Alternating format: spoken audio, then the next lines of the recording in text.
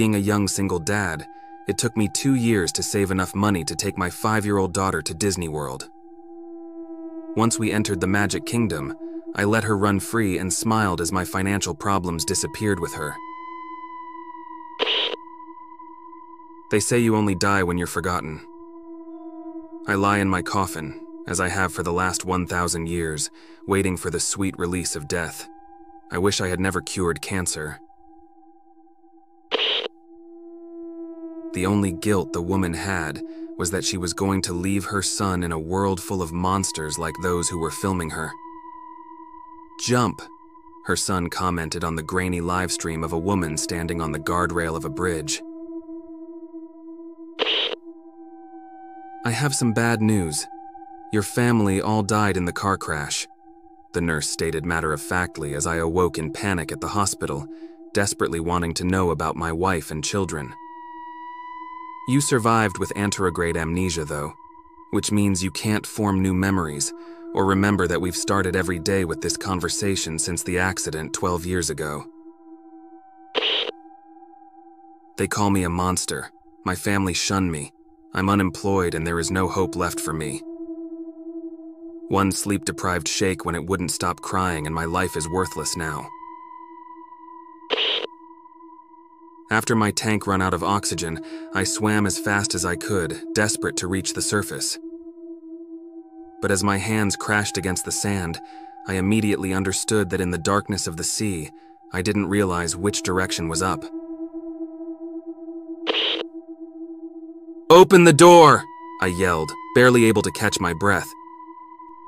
The scarf tugged harder as the elevator moved, and I felt my head press against the cold floor.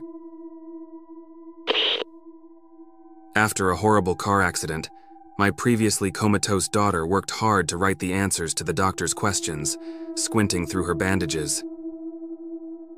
I was so proud, at least until the doctor asked her name, and she wrote the name of her best friend who had been buried a week prior.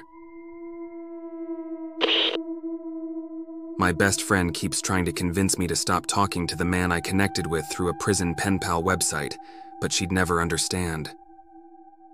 As I heard him sneak into my house, I never felt so safe as I did in that moment, knowing he'd make sure my father never put his hands on me again.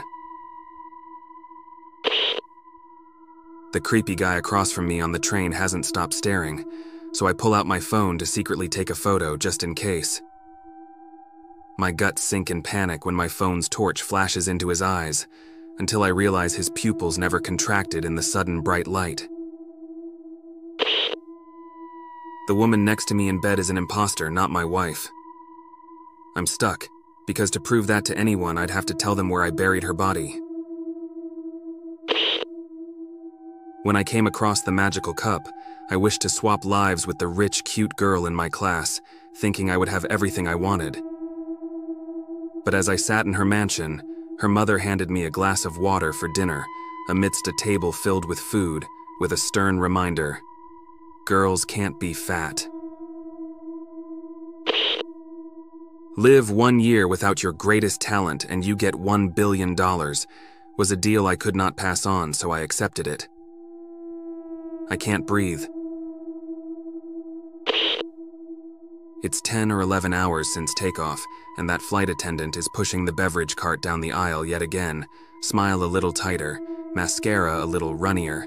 Soda's almost gone now. But this time she's handing out napkins and pens as the captain's voice crackles through the PA system. There's a regional airport outside Sioux Falls, least there used to be.